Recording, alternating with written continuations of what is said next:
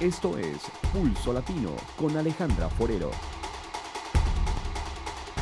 Gracias por continuar en sintonía de Pulso Latino. En Aruba ya muchos saben que la nueva línea que representará la marca Zara estará en Aruba, pues se conoció por redes sociales una imagen de cómo se verá este proyecto completamente terminado. Los cuatro pisos que adornarán el final de la calle principal darán un toque innovador pero conservando la idiosincrasia que tiene esta área.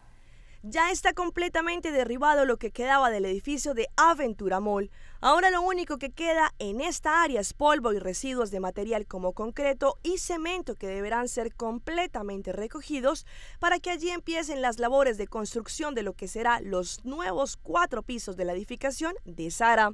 Pues bien, este fin de semana se dio a conocer una imagen a través de redes sociales en la que se evidencia el posible final de cómo quedará esta estructura de edificio, es decir, cómo sería la vista desde la esquina de este megaproyecto que ocupará toda la esquina final de la calle principal.